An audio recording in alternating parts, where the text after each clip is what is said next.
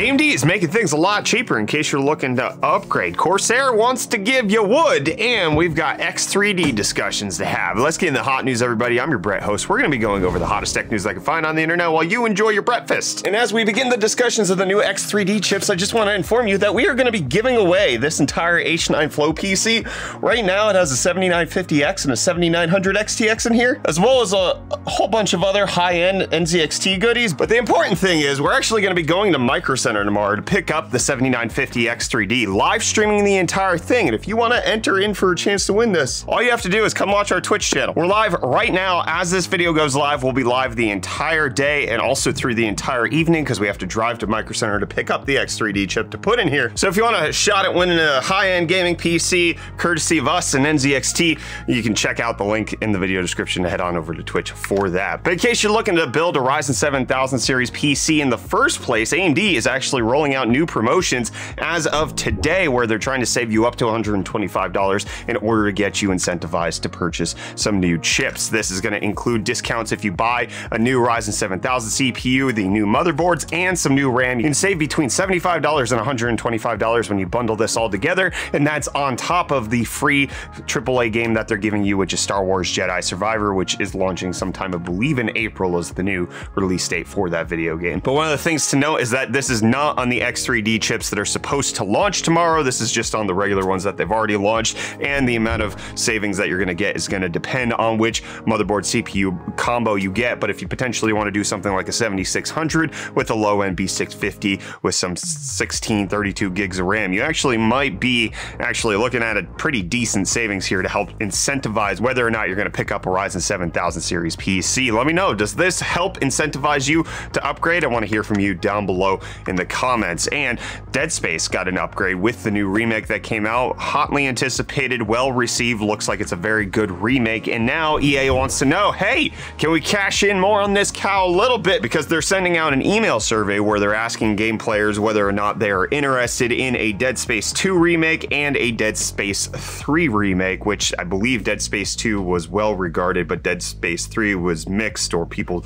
didn't actually even like that one, just kind of forgot about it altogether. Let me know down below in the comments, do you want Dead Space 2 or 3 to also get a remake like Dead Space 1 did? And remaking Windows 11 seems to be the new hotness. Videos coming out all the time on how to fix Microsoft's operating system. Tiny 11 seems to be one of the more popular situations out there. We've talked about this in Hot News before. It's a small version of Windows 11 that can run on systems with only 2 gigabytes of RAM, and in fact, they've shown it with running only 768 megabytes of RAM. There have been people who've gotten it running on something like a Raspberry Pi, but one of the concerns was, hey, how do I know that this is actually trustworthy because it's not made by Microsoft? Well, they came out with a little builder tool for you. Tiny 11 Builder allows you to download an official Windows 11 ISO from Microsoft themselves, use their program, which we'll have a link in the video description if you want to follow all the steps, but then you can see exactly what's happening with Windows 11, how it's getting stripped down and being configured to what you want. You can build it out yourself, and that way you can have a stripped down version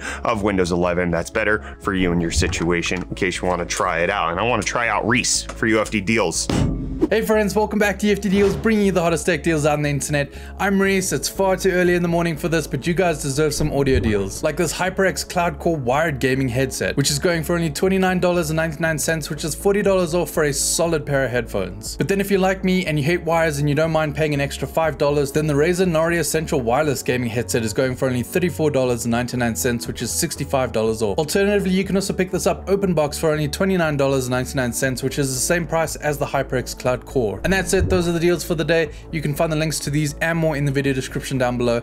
Hope you guys have a fantastic start to your week, and I'm gonna hand you off back to Brett for the rest of your hot news. Cheers. Thanks, Reece. I don't know if you included this, probably not, because it's not necessarily a deal, but Corsair wants you to forget all about the Fractal North PC, which I cannot do because I have it now and it's phenomenal. My PC build that I've done with it just looks immaculate. I haven't taken any personal pictures of my build yet, but Chris from Coalition Gaming posted this on Twitter, taking a screenshot from our Twitch stream where I built this, this. I love this case so much, and Corsair knows that people want this. It's out of stock everywhere. It's incredibly popular at the moment, and so they're going to be releasing wood accents for their 4000 and 5000 series cases. They're going to start at $55. You can get them in sapele, bamboo, or teak, and it's going to be $55 for the 4000 series panels, $75 for the 5000 series panels, and Corsair is saying that this is not going to affect airflow in any way, and it's supposed to actually be real wood that you can to your PC. I think that this is a good design aesthetic that I like seeing popping up. I enjoy